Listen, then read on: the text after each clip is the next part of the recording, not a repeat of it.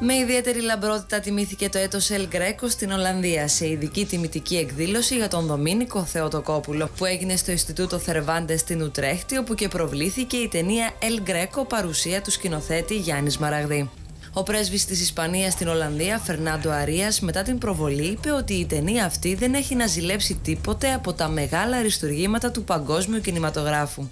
Μετά την προβολή της ταινίας, η οποία καταχειροκροτήθηκε από το κοινό, ο Γιάννης Μαραγδής τόνισε τη σημασία της φιλοσοφίας του Πλάτωνα με τον νεότερο πολιτισμό και ιδιαίτερα τη σχέση που έχει με τον Ελ Γκρέκο και τον Καζαντζάκη, που είναι η επόμενη ταινία που ετοιμάζει.